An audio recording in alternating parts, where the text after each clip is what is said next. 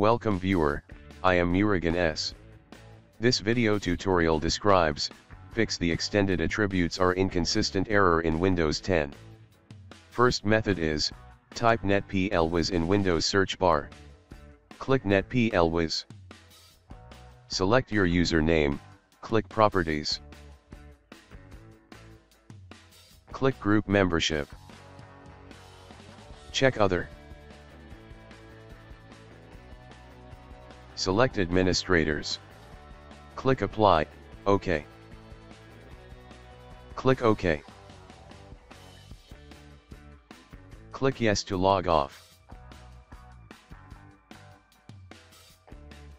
Second method is, type sound in Windows search bar.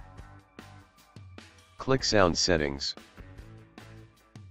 Click sound control panel.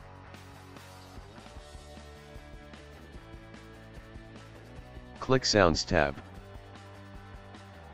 Select Windows Default.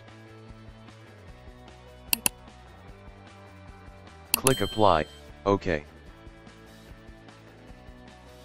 I hope this video tutorial helps to you, please like, share and don't forget to subscribe my channel, thank you very much, see you next video.